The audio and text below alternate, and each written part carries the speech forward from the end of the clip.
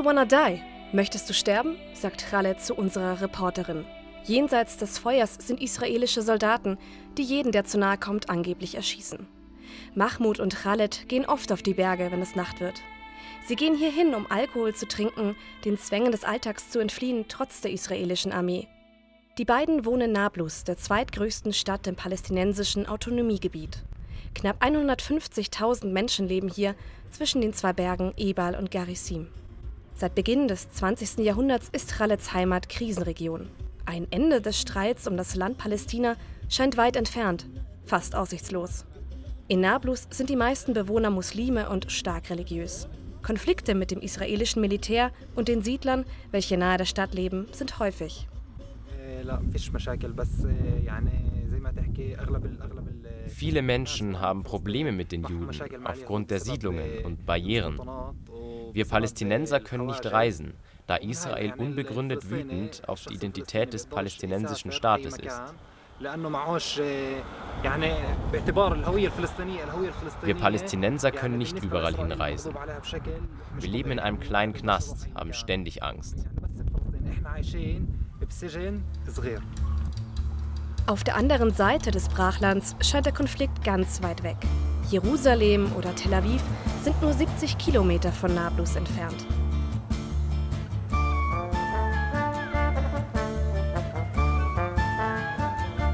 In den Souvenirshops auf den Märkten werden Fan-T-Shirts der israelischen Armee neben Free Palestine-Shirts verkauft. Wären da nicht die schwer bewaffneten Polizeikräfte und Soldaten, könnte man meinen, dass alles friedlich ist. Zivile Polizei mit Pistolen und Maschinengewehren sind dennoch Normalität in den Städten. Wenn die Sonne untergeht, geht das Nachtleben in Israels Großstädten los. Die Kleidung ist kurz, es wird getanzt, getrunken, so wie im Westen.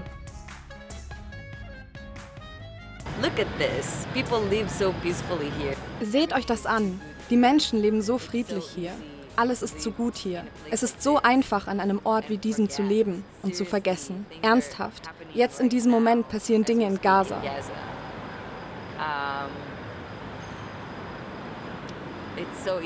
Es ist so leicht, das alles auszublenden. Es ist zu leicht und es ist beängstigend, wie abgekapselt wir sind und wie einfach sie es uns machen, uns abzukapseln.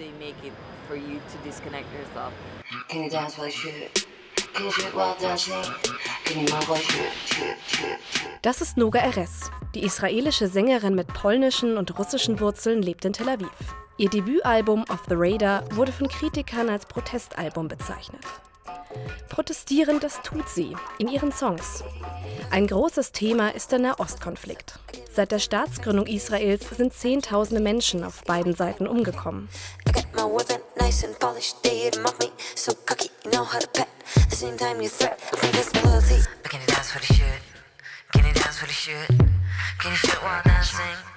Those two awful words Hoffnung und Frieden sind zwei grässliche Wörter. Zwei Wörter, die als verloren betrachtet werden. Als eine naive Einstellung. Also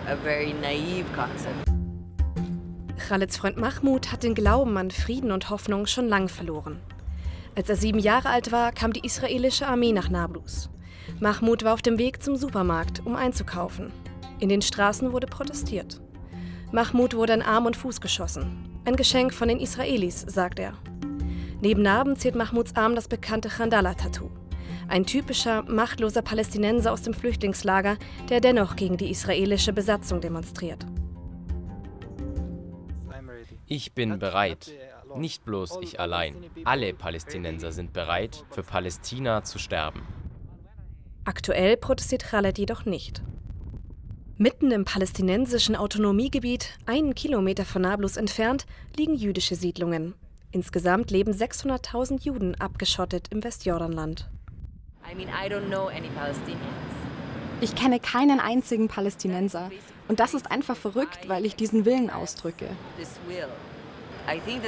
Ich denke, die Regierung kontrolliert uns, indem sie uns voneinander trennt und uns die Möglichkeit verwehrt, miteinander zu sprechen.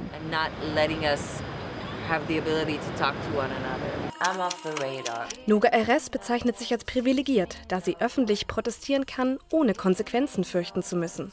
Sie fordert die Leute auf, sich über den Konflikt zu informieren. Ich glaube, die Leute akzeptieren das einfach als Fakt oder sagen, Israel ist ein Ort voll von bösen Menschen, die nur ihr Leben leben wollen und sehr grausam sind. Nein, man muss diese Komplexität verstehen. Khaled, der bereit ist, für sein Land zu sterben, weiß eigentlich sehr wenig über die Zusammenhänge des Konflikts. Wenn ich über diese Probleme reden möchte, kann ich das nicht. Das ist alles sehr lange her. Eine alte Geschichte. Die Israelis sind Besatzer. Sie sind zu uns gekommen, nicht wir zu ihnen. Für Noga sind die Politiker von beiden Seiten schuld an dem nicht enden wollenden Konflikt. Hoffnung auf eine bessere Zukunft setzt sie in jemand anderen. Es ist nicht viel, aber ich glaube an eine Sache.